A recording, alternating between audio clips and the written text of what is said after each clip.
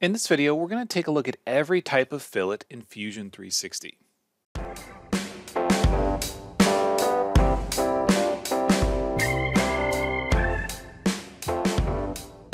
Hey everyone, this is Matt with Learn Everything About Design, and in this video we're going to do somewhat of a Fusion quick tip. I haven't really done these in a while, and this one's probably going to be a bit longer than quick, but I wanted to cover a topic about fillets and specifically, I want to talk about every type of fillet that we have in Fusion 360. So if you want to follow along, you can download the design from the, the description of the video. And we've got two bodies in here. There's one that's a sort of crazy looking triangle thing uh, we'll talk about in a little bit. And then we've got this first body here that just has all sorts of different features on it. So what we're going to do is we're going to take a look at the fillet tool and we want to explore a couple of different things. First, we have type. We've got our fillet, our rule fillet, and full round fillet. We have this section here where we can add multiple radii fillets. We've got a radius type for constant, chord length, and variable. And then we also have some options for things like corner type for rolling ball and setback. So we're going to try to talk about all of these with these two different solid bodies. First, starting out with the standard fillet. Now this one's pretty straightforward, and if you've made any designs in Fusion 360, you've likely used a standard fillet before. But there are some nuances that we want to consider whenever we're working with these standard fillet types. For example, if we select an edge and we begin dragging this, what we're doing is we're creating a constant radius fillet. Now we'll talk about chord length in a little bit when we get to that sort of funky shaped triangle, but there are a couple of options even with the constant radius type that we do want to mention. So these designs are fairly prismatic, but if we have complex shapes, we can change from tangency to curvature. And you'll notice that as we zoom in, we go back and forth between tangent and curvature. There is a very slight difference to this. Now, the slight difference will change based on the angle of the fillet. So for example, if we go over here where we've got slightly more than 90 degrees in this corner, when we go from tangent to curvature, it's going to have more of a change or more of an effect because the tangency angles are different than the traditional 90 degree corner we're used to applying fillets to. So that's one thing to keep in mind is the curvature type, tangency or curvature, will change the way in which the fillet is generated. Now, if you're using a standard, let's say a CNC machine with a ball end mill, you want to stick with the tangency. Uh, it's going to give you a consistent radius, and that's going to be what you're going to end up machining with your tool. If you do the curvature continuity, it could get a little dicey. We're also going to take a look at hitting the add selection set. And what this allows us to do is pick another edge in our design, and we can apply a different radii fillet out. In this case, you can see we added a five millimeter fillet to the bottom or root edge and a one and a half to the top. So the reason that this is kind of helpful and important is because now when we hit OK, we just have one fillet feature in the timeline, and that one fillet feature has two different radii fillets. So again, this can be helpful, especially if you're doing multiple fillets on a design. It can get a lot of features down here in this timeline that we want to avoid. So that was a basic sort of consistent radius fillet, probably what you're used to applying. But that is just selecting edges. If we happen to select a face, for example, and we begin dragging this, what we're going to get is a fillet applied to every edge that intersects that face. So if I hit control and hold that down, you can see now we're sort of blending this pocket up and out of the design. So if I move my way around, holding down control or command, this is a quick way for us to fillet everything. Now we can also use things like box selection. So if I cancel that and I just drag a box here, you can see that it's grabbing the edges. And we can use things like our selection tools and priorities to determine whether or not we want to select faces or edges, for example. So if we clear this out and we do a box selection, anytime we go from bottom right to top left, anything that the box touches will be in our selection set if we go from top left to bottom right, anything that's completely within that is going to be included in our selection set. Uh, if you hold down control, we can add or remove. If you hold down shift, we can add to the selection set. So once again, you need to make sure that you are comfortable with these tools and playing around with things like selection sets and selection priorities. You'll notice here, we're gonna do select all body edges and just go back to that sort of default setting. So once again, selecting a face or a set of faces is going to create that same kind of constant radius fillet along all the edges that that face intersects. There's another thing that we do want to talk about. So we're going to say okay and create yet another fillet. And that's going to be what happens when we have three corners that intersect. So as I start to drag this down, we can see that we get this sort of triangular ball shape in the corner, and that's what this corner type is. If we go to setback, then it creates more of a blended corner between those edges. Now, this is going to be true if it is an internal or an external corner. So keep in mind that if you're using these options, setback and rolling ball, if you are going to be, say, machining this with a ball end mill or a bullnose mill, then you probably want to stick to the traditional rolling ball when it's an internal corner.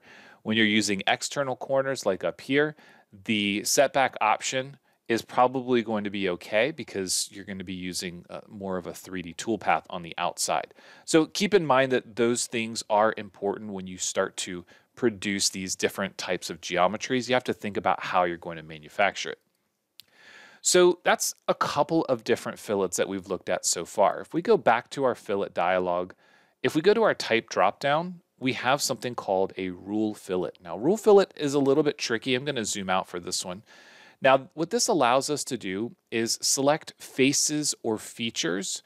And the face selection is honestly not as useful as the feature selection is, and I'll show you why in just a second.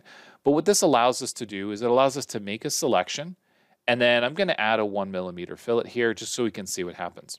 So what ends up happening with the face with the rule fillet is similar to just selecting a face if we were using the standard fillet, and it kind of gives us the same result. However, if we use the feature option and I select, let's say, this feature pattern and the original sort of um, feature that was used to create that, now we can determine whether or not we want those to be rounds and fillets, full rounds or fillets only. And what this does, this allows us to make fillets for a grouping of features, in this case, a pattern.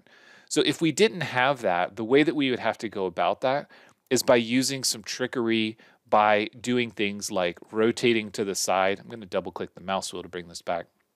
Rotating to the side and using our selection dialog to have edge selection priority and then we would do something like a box selection inside of here to get all the edges on the inside. And, and that's honestly, it's a little bit trickier. It's something I don't really like to do.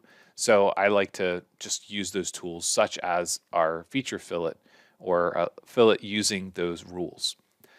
So that is a look at our rule fillet. We've also looked at our standard fillet. We haven't talked about our chord length just yet, but we will get to that. But I do want to mention the variable fillet. This is kind of a cool one, and most CAD programs do have this. I'm going to rotate this around a little bit. Now, what the variable fillet allows us to do is determine a fillet radius based on a position along an edge. So what we're going to do is we're going to say at the start of this, it's going to be zero millimeters. At that point I just clicked, it's going to be one millimeter. And then at the very end, we're going to go all the way out to five millimeters. So this allows us to go from no fillet to a variable fillet as we go along that edge. And we can add additional points if we want to, changing this. And we can determine, let's say maybe at the beginning, we want that to be five, and we want it to sort of taper down to two millimeters in the middle and then taper back out to five. This dialog is always in the way. So that's a kind of a, a nice way to create that variable shape without having to do too much work. Now, again, you have to think about things like manufacture. How are you going to make this? And is the geometry going to be problematic? So let's create yet another fillet. And this time we're going to take a look at the full round fillet. Now, this one is pretty interesting as well, and it works better in some instances over others. So for example, this little block on the top, if I click that, what it's going to do is it's going to take those three faces and it's going to create geometry that'll be perfectly round. So essentially, if you think about creating a sketch, you would use a, a half arc in this case, or an arc that's half a circle and that would create the geometry for you. Now, if that doesn't happen to work, sometimes you have to select additional sides to make that work. But for the most part, it's actually done a pretty good job for me creating those full round fillets. Okay, so now that we've explored most of those basic fillets, let's talk about the last one here, which is chord length, and it's a little bit harder to understand. So I've got this sort of funky triangular loft thing here. And the reason I have this is because the chord length is going to be very apparent on certain types of geometry. So if we add a fillet, and let's say we're using the standard fillet, which is a um, constant radius, when we select an edge and we begin dragging that fillet, for the most part, this is what you would expect to see. However, when we get to a situation where we've got some sort of varying degrees of angles between faces, especially down here, what you're going to see is that as the angle changes, so does the width of your fillet. Now, in some cases, it'll be more drastic than others, especially as the size varies. We can really see that it's wider here at this steeper intersection and it's narrow here where the angle between those edges is wider. And again, that's true down here as well. So the reason that we would want to go from a constant radius to a chord length is now we can drive the length of the radius independent of the angle between the faces. So instead of saying we want a 35 millimeter fillet, we can say that we want the chord length to be 35 millimeters. Now, the reason that this is important is because now we're driving the width of the fillet as opposed to driving the radius of it. The radius is going to be variable as we go along these edges because the angle of the faces that are adjacent to them are variable. So that is really all of the different types of fillets that we have. You can, of course, apply them to surfaces as well, and it's going to be the same tool. There are some nuances to doing surfaces as opposed to solids, like they have to be stitched together as one surface body. But for the most part, that's going to be an overall look of applying a standard fillet with both the constant radius and chord length or the variable option, as well as a rule fillet, which will allow you to add fillets to features. So for example, internal corners against a featured pattern.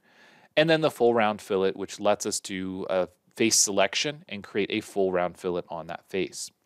If you have any questions on these or any other feature, please let me know. As always, thanks for watching, and we'll see you in the next one.